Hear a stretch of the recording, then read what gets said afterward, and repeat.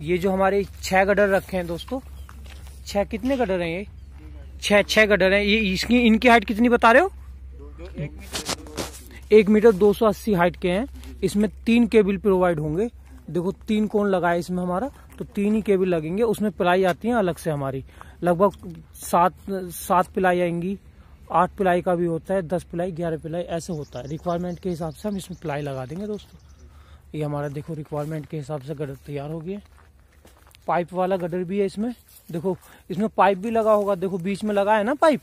कोई से गडर में? एक देखो, इसमें भी लगा है पाइप वाला गडर है ये। ये आउटर गडर है, और वो इनर गडर होंगे ये। ये सब। ठीक है ना? ये इधर सबसे लास्ट वाला आउटर गडर है। उसमें पाइप लगा है।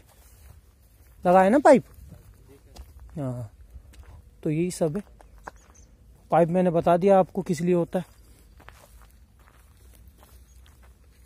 बहुत ही सुंदर तरह से ये अपना तैयार हो गए हैं गडर चारों। अब इसका इरेक्शन का टाइम आएगा तो उसके बाद देखना इसको कैसे करेंगे।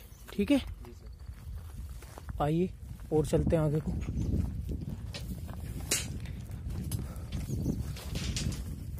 देखो आइडेंटिफाइड कर दिया इस गडर को जी नाइन गडर है ये। तो रिक्वायरमेंट के हिसाब से हम इसको, जहाँ जी नाइन की रिक्वायरमेंट होगी, वहाँ लगा देंगे। इसमें स्टील का भी फ़र्क पड़ता है और ये जो हमारे पाइप है, उसका भी फ़र्क होता है इसमें।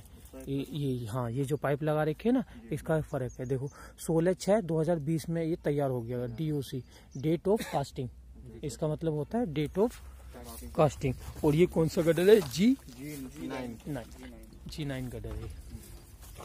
ओके दोस्तों। ये आइडेंटिफाइड ज़रूर करना पड़ता है कि कौन सा गडर है और किस डेट में बना है। हाँ नीचे वाला रिक्वायरमेंट के हिसाब से इसमें गिर दिया होगा, ये बीस का सरिया चार सरिया गिरा, फिर ऊपर गिरा, इसमें, ठीक है? जब हमारी डट वोल आएगी ना इसमें तो उस उसको पकड़ने के लिए ही ये लगाते हैं हम। साइडों में डट वोल आएगी ऊपर जब लगाएँगे तो वो होता है ये।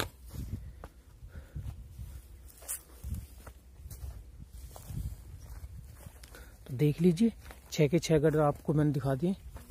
समझ में आ गया होगा मुझे लग रहा है? हाँ। तो चलो चलते हैं हम अगली साइड पर हाँ?